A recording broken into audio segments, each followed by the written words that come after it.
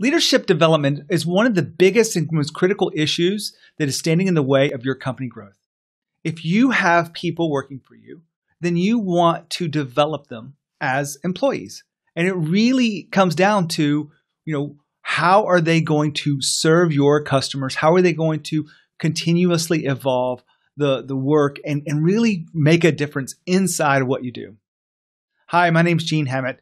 I work with hyper growth companies to help them understand how to continue that growth, how to activate employees, and how to reduce uh, things that are getting in the way and, and really overcome some of those obstacles.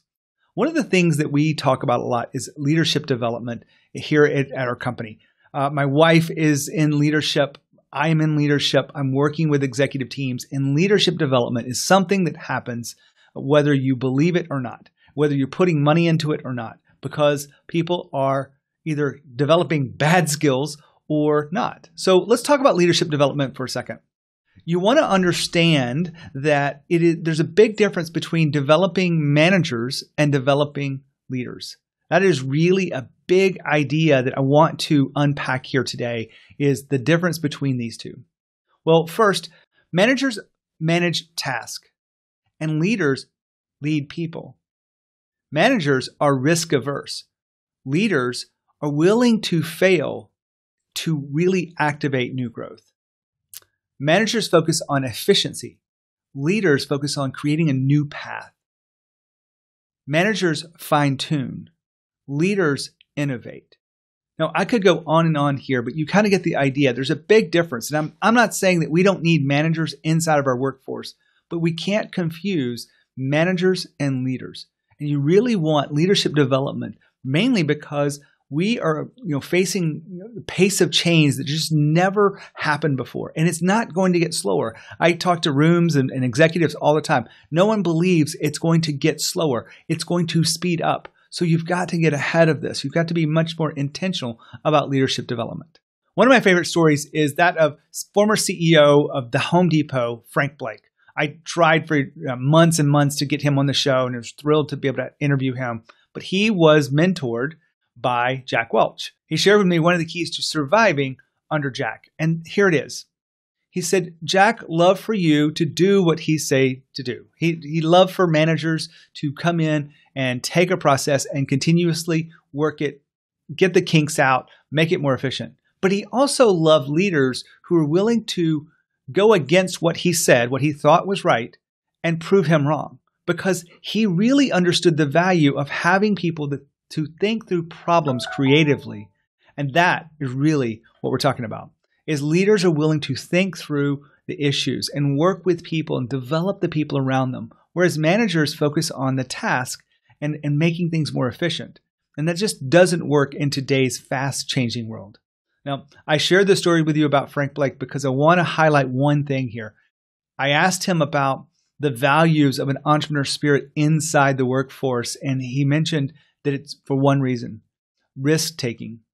We can't have people who are afraid to take risk, and managers just aren't willing to take the risk that leaders are. And leaders do it to serve the growth of all things, not themselves, but the whole organization, for the culture, and for the growth of what's good for customers and what's good for everyone else. So I share all this with you because I work with a lot of teams that confuse the fact that they're developing managers or they're developing leaders. And leadership development really does take some intention around this. So let's go over a few things that it requires. The first thing it requires is it's not about training. You don't want to train someone to be a leader. You want to uh, create experiential uh, experiences where they can be facilitated and you they will actually solve problems themselves. They will actually be doing it not just learning about it. Because you don't learn about leadership you do it. Which comes to the second one being versus doing. Most of leadership is about who you're being not what you're doing. When you can focus and have conversations about who you're being and who you're causing others to be you will have much deeper, richer conversations than you will if you just focus on the things to do as uh, a leader. It just doesn't work that way. Secondly, mentors are re- usually present when you want to have it. I shared the story of uh, Jack Welch mentoring uh, Frank Blake, or young Frank Blake, if you will. And I could see that is very powerful inside of organizations. I've been in corporate America, so I've, it was powerful for me to have the right mentors. And in many cases, I couldn't get the, the mentors I wanted, but it really is something that you want to, to put in place is the right mentorship. The, the finally, I want to leave this with coaching. I work a lot with coaching because I that's what I do, and, and I share this with you because I really believe if you want to create the kind of leadership development in your organizations, you want to have coaches that are willing to challenge the status quo with you and and really rock the boat a little bit and, and push you to the boundaries of who you are. I work with teams now that are doing this, and it's just fantastic results we have in developing their leadership, improving their clarity, improving their confidence, having more courage.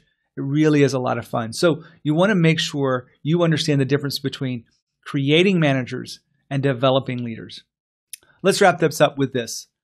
Leadership development is about intention. Whereas you want the right leadership development that will take your company to places it's never been.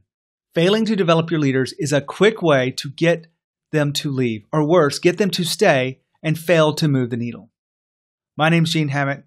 I work with leaders and leadership teams to, to create leadership development programs that really do challenge the status quo. If you have any questions about this, I'd love to, to engage with you about how you're doing it in your company. Just reach out to me at gene at genehammett.com. As always, lead with courage, and I'll see you next time.